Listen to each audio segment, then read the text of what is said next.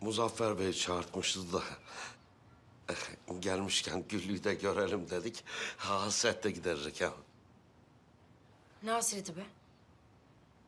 Haddinizi bilin. Annem nerede? Ha, e, anan dedeni görmeye gitti, göresi gelmiş. Ne zaman gelecek? Yakında döner. E, Hem e, artık hep birlikteyiz.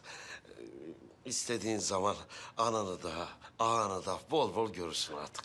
He, eskisi gibi değil mi baba? Değil. Hiçbir şey eskisi gibi değil. Olmayacak da.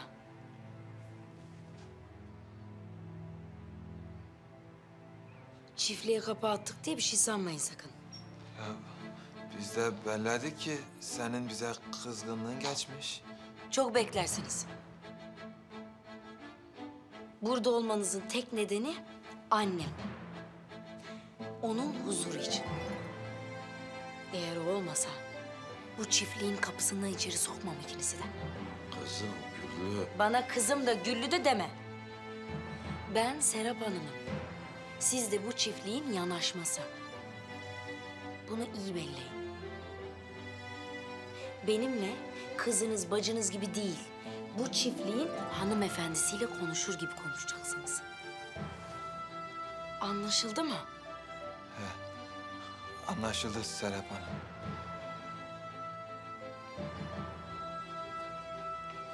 Anlaşıldı Serap Hanım. Gözüm üzerinizde. Hadi gidin. Nerede kalacaksanız bakın şimdi.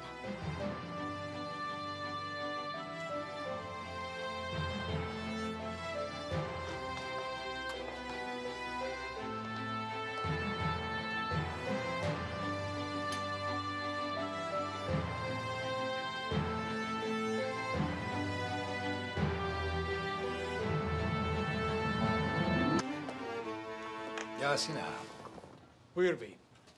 Kendimi bildim bileli bu çiftlikte çalışıyorsun. Şükür beyim. Yıllardır cefamızı çekiyorsun. Bir günde izin isteyip dinlendiğini görmedim. Estağfurullah. Yeterince yoruldun. Çiftliğin işi gücü bitmez Yasin ağa.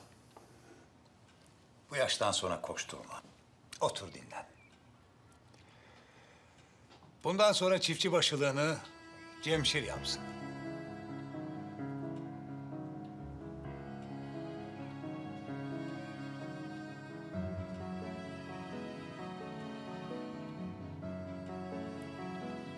Ama abi, Ben kararımı verdim hemşire.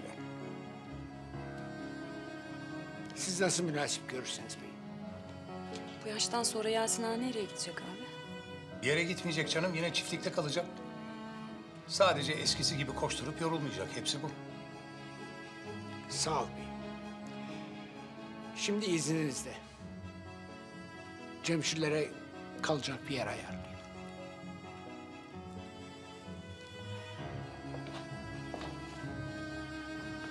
Allah sizden razı olsun beyim.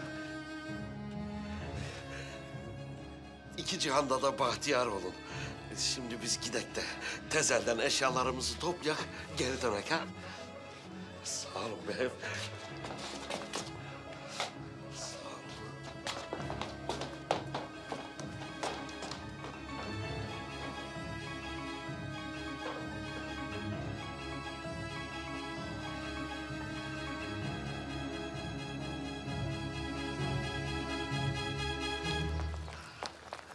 Ya baba ne koşturuyorsun? Yavaş yürü acık.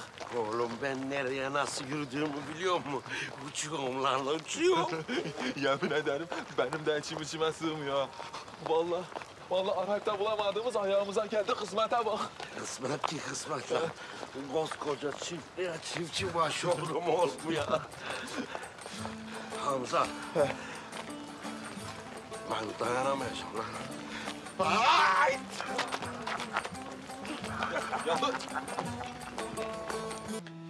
Bizi çürüye çıkardı ya. Sen ona bak.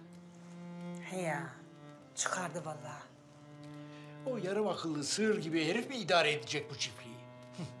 Şaşarım beyin aklına. Vallahi doğru söylüyor.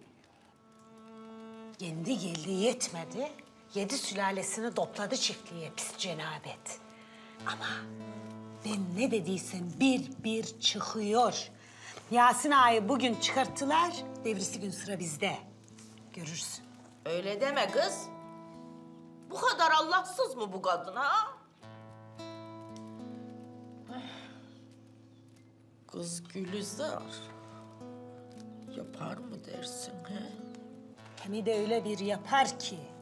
Yarın öbür gün çoluk çocuk bütün akrabasını topladı mıydı çiftliğe? Seninle ben kapı önü. Haydi. Kız ne yapar, ne ederiz, nereye gideriz bu yaştan sonra? Ama ben neyi anlamıyorum biliyor musun?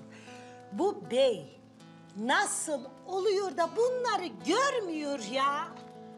Ama o sürtük yemeni yok mu? Gözünü kör etti beyin. Sanki gözüne perde indi. Rüyada gibi geziyor adam ya. Yoksa Güllü'de ne hikmet var da ne bulacak? Hiç.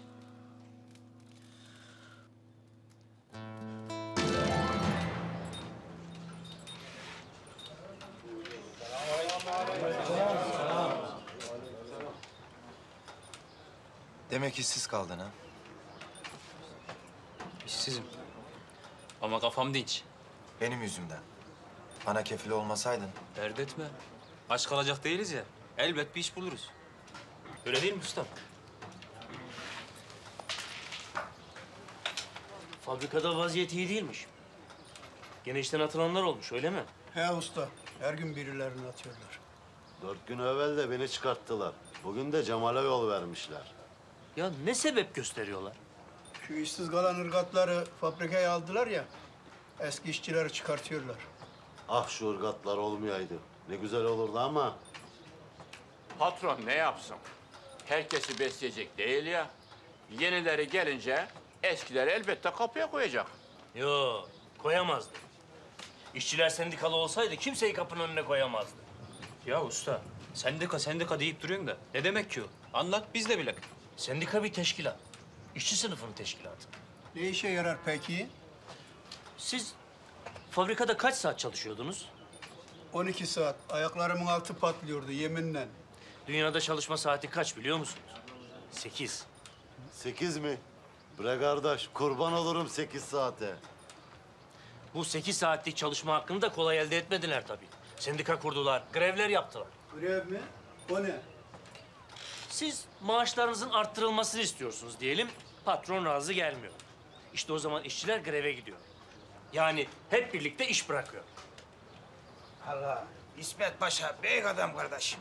İhtiyacı nasıl görmüş? Ya 47'de o tanıdıydı sendika hakkını işçilere. Ya sendika hakkını tanıdı da kardeşim. Grevle toplu sözleşme hakkını tanımadı ama. Bizim parti ne yaptı?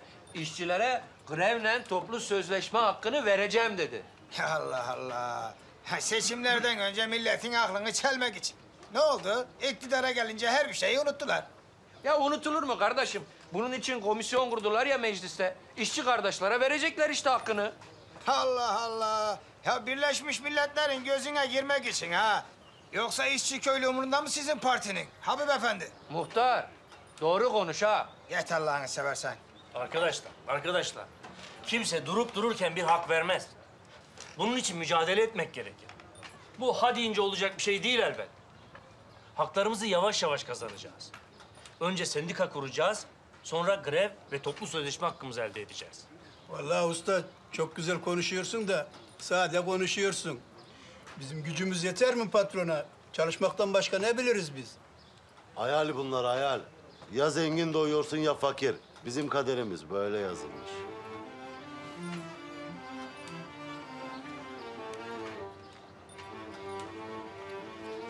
Hadi usta kalkalım.